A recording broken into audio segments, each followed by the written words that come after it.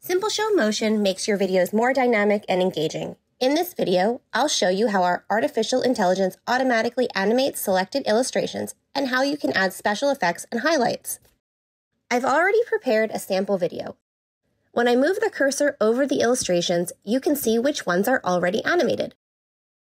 You can now choose from a huge library of animated illustrations that fit the respective context. They can be identified by little stars in the corner.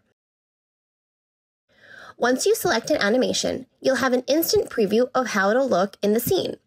Artificial intelligence always ensures a balance of animated and non animated illustrations when creating scenes. Let's take a closer look at the character animations. Tom is waving because this is his first appearance in the video. Let's see what other things Tom can do. I simply click on him and all the possible poses appear in the menu on the right. These can be neutral, happy, sad, inspired, and much more.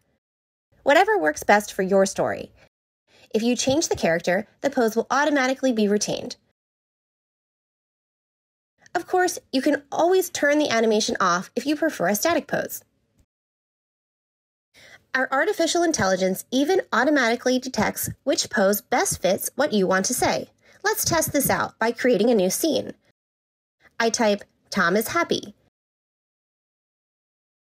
And Simple Show Video Maker automatically shows a happy Tom. In this scene, you already see some of the character poses. But animated poses are not the only thing. We have also included effects that can enhance your message. Let's take a look at this scene. Each of these illustrations has an effect that fits the content. For example, this one is about correct execution, and this one is about secure data. You can select the effects here in the menu. And again, our artificial intelligence will do this automatically for you. I type in, we guarantee secure data. And the effect is added automatically. You can use the highlights feature to make a particular illustration stand out. See which highlights are right for you. We recommend using them sparingly to avoid losing the highlight effect. Finally, I'd like to explain what you can do with frames. They're supposed to put certain illustrations in context, and you can use them to tell a story even better. For example, this character is talking about a new process during a presentation.